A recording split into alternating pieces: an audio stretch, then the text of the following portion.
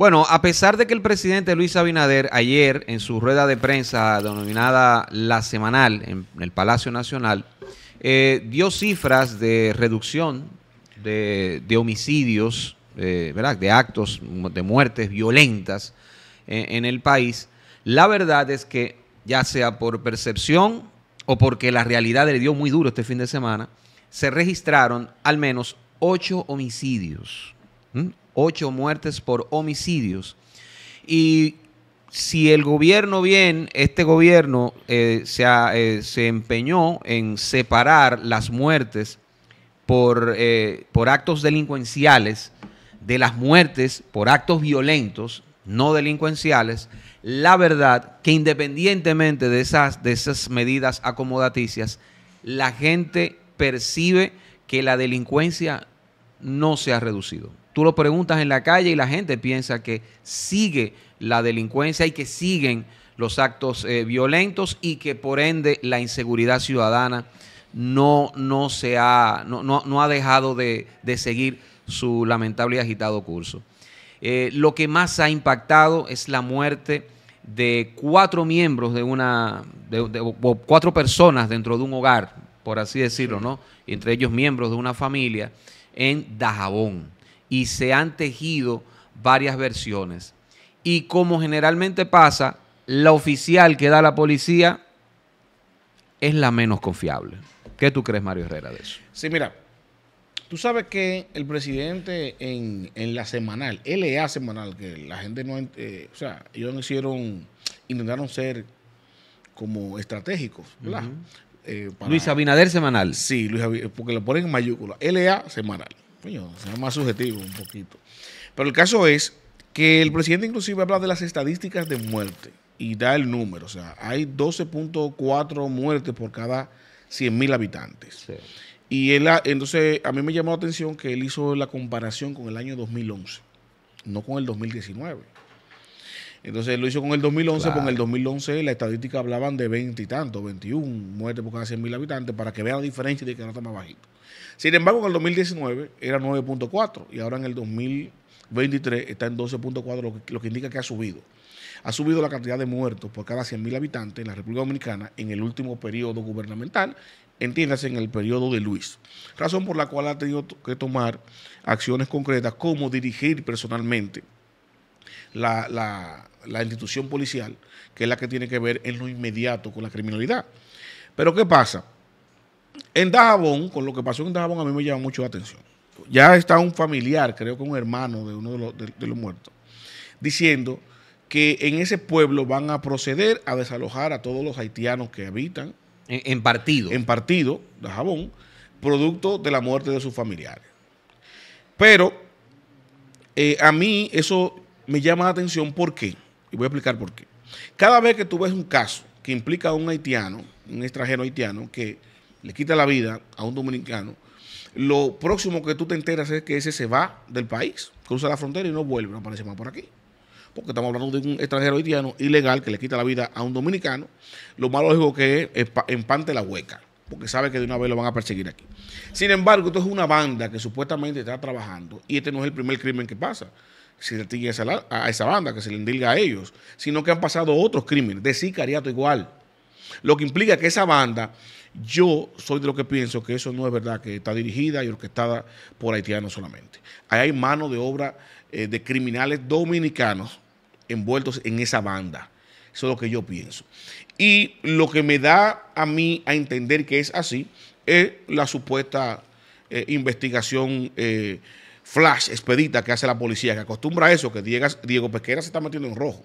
Que se recuerde él, que él entró ahí, porque quitaron a esta muchacha, la señora, la que era la vocera, no me recuerdo el nombre, primera mujer vocera de la policía, no duró ni seis meses, porque salió a sí mismo en expedito, igual que Diego ahora, a dar una explicación del tema de la, del arquitecto Rosario, que se inventaron una historia y después se, descubrió que no era así.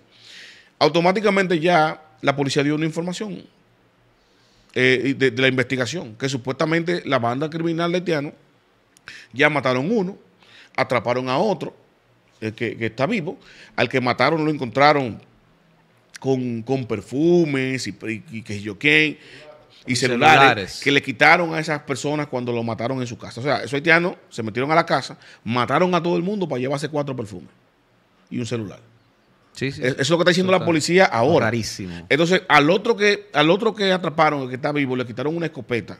Una escopeta que era propiedad del señor muerto, del, señor apellido Cabreja, que está muerto de 60 años de edad. Entonces, aquí eso no me da. O sea, no me da que un crimen de cuatro personas muertas, o sea, tres muertos y uno que está eh, en, estado grave, que fue el joven que dieron en la cara, que estaba en el patio, eh, pero que está grave, está en un hospital de Sánchez Ramírez, que tú me dices a mí, bueno, una banda de extranjeros haitianos se metieron en esa casa, mataron cuatro gente para llevarse unos perfumes y un celular. Y una escopeta. ¿Verdad? Y al final, no, porque al final se llevan la escopeta, supongo yo, porque quizá el hombre defendiendo se intentó buscar, y bueno, me la llevo de paso. O sea, eso no me hace sentido. Eso no me hace sentido y mucho menos me hace sentido de que ellos cometen eh, eh, el hecho, se, van a la huida y lo atrapan con todo encima, inmediatamente la, policía. Porque la policía más eficiente en casos escandalosos como este es la que tenemos nosotros que de una vez atrapan a la gente, de una vez dan las conclusiones la policía, y tú ves que a los 15 minutos ellos te tienen una historia. Que esa historia, cuando pasan dos o tres días, tú te das cuenta que está totalmente divorciada con la realidad del hecho. O sea, la investigación aquí debe perfilarse a las vinculaciones que pueda tener esa banda con criminales dominicanos, porque estamos hablando aquí de un crimen organizado de sicariato que se está expandiendo de forma como nunca se había visto aquí en la República Dominicana. Estamos hablando aquí que ahora yo no, o sea, no me pasa un mes sin que yo vea una noticia de que mataron tres, que mataron dos, y que son en presunto acto de sicariato, que eso no se ve aquí en este país. Mira por dónde va. Consecutivamente así claro. no se había visto. Pues una, una investigación al vapor, obviamente, que hace la Policía Nacional de alguna manera para salir del paso mientras entretener a la gente y, irle dando ese pan que Delio siempre ha dicho, ¿no? mantenerlos con ese pancito y va a ser una noticia que va a dar mucho que desear en estos, en estos días. Recuerden, señor, que este hecho lamentable de esta familia que fue asesinada fue en la madrugada del lunes, o sea, eh, tiempo suficiente para que un ladrón, o sea, un supuesto ladrón, vamos, vamos a ponerlo de esa manera, que son ladrones nada más. No, son, no son sicarios y no son de bandas organizadas. Es como dice la policía. vamos a suponer que es eso. Eh, eh, ladrones tan tontos y pendejos, ¿no?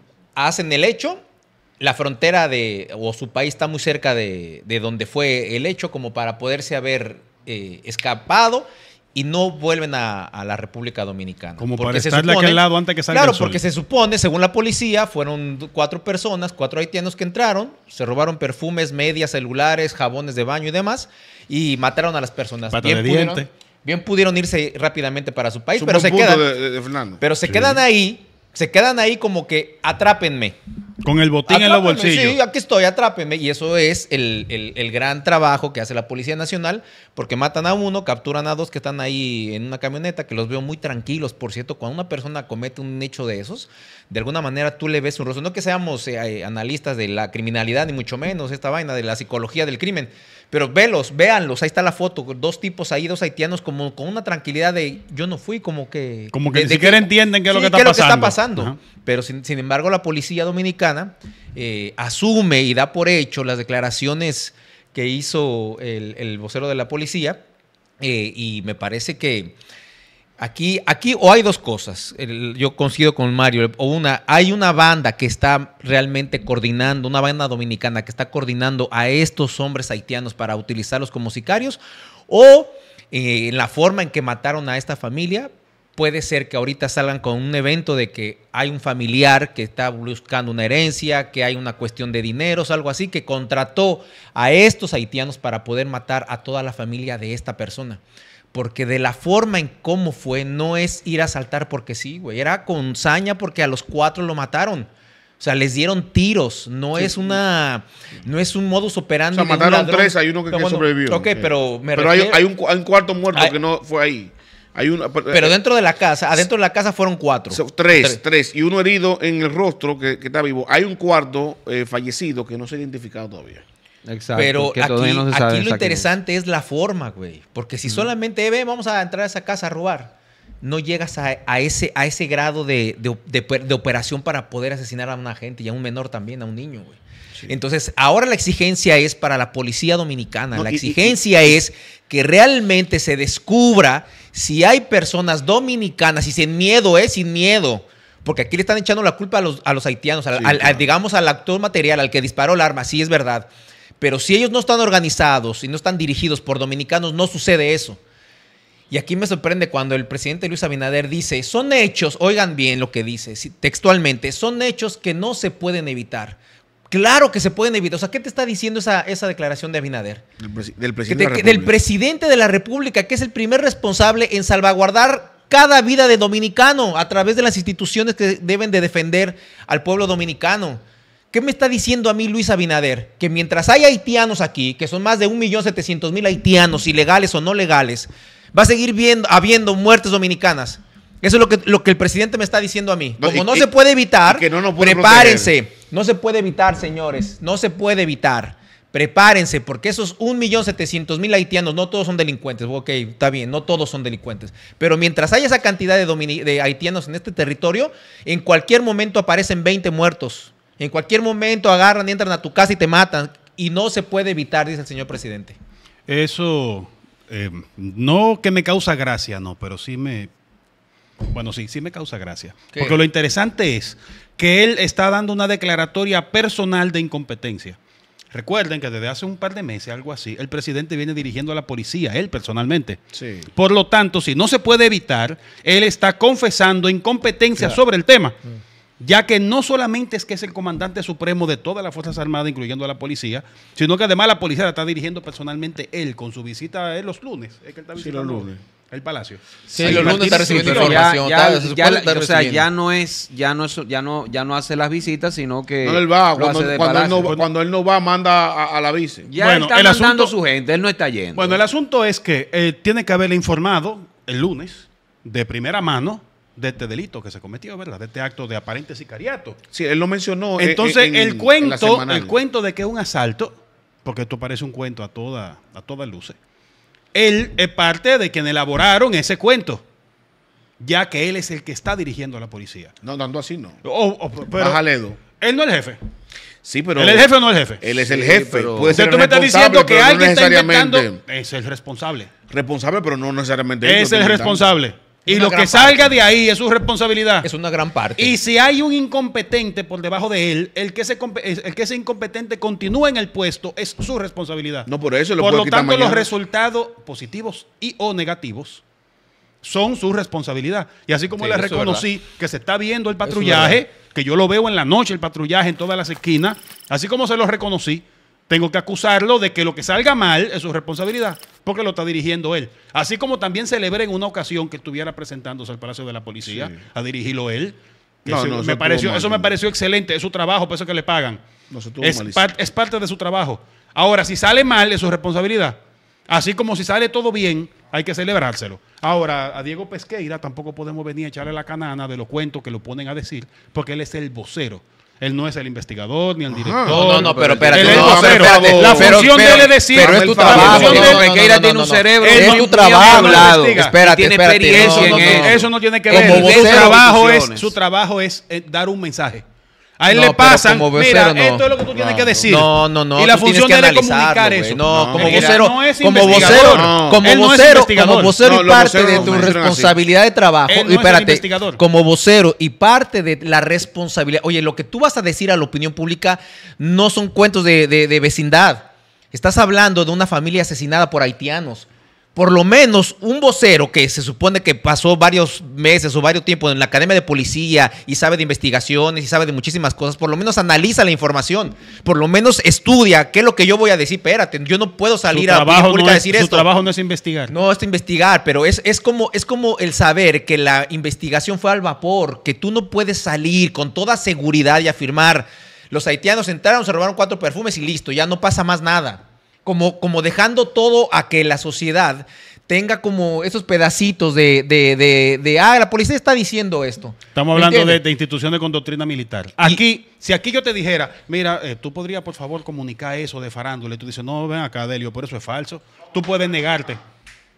Bueno, señores, eh, el, tema, el tema es que la- lamentablemente, lamentablemente, cuando la policía hace estas, estas engañifas eh, eh, de resultados de las investigaciones o de supuestas investigaciones, lo que hace es provocar más problemas, revueltas preocupantes como la que dijo Mario de esos familiares de los, de los fallecidos, que yo no les doy la razón porque esto sería crímenes, incitar hasta crímenes de odio, ¿no? Sí. No estoy de acuerdo con eso, pero tienen una justificación moral de expulsar ¿no? a todo el ciudadano haitiano que vive en esa zona de partido. Eso puede, eso puede causar conflictos serios y lo producen investigaciones poco serias como esa que, que- que acomete la Policía Nacional y las informaciones que uno tiene.